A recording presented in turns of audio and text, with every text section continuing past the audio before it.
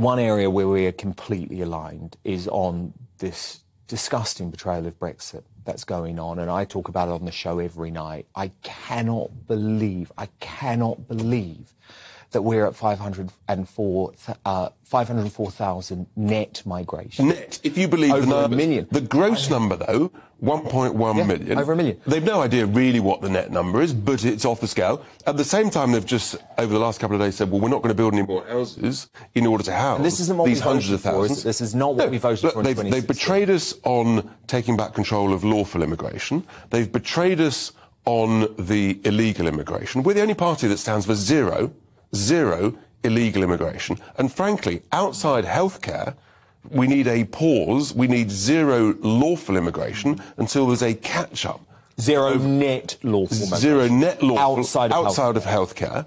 Because And, that, and that's because you have you say that healthcare is such an important area. We do need it's, it's, cheap it's the greatest labour. crisis. No, it's not a question of cheap. We need skilled uh, healthcare labour. I've put forward a plan in order to attract more people back in within the UK. So what, these are doctors and nurses. doctors and nurses and surgeons and as well as uh, social care workers where there's shortages. So we've got to deal with that shortage. But outside, But outside of that, you outside say we net should, we should have migration. we should have net zero lawful migration until, frankly, we all know where we are and we catch up. But look, the Tories have betrayed us. They've got no real commitment to stop the. Uh, the channel crossings. We've got a clear six-point plan. You have to leave Some the ECHR. Tories do, though, but this is the exactly, Yeah, and, but- but- and this is the issue. Some Tories do because actually, you know, I have great faith in the Home Secretary Suella Braverman.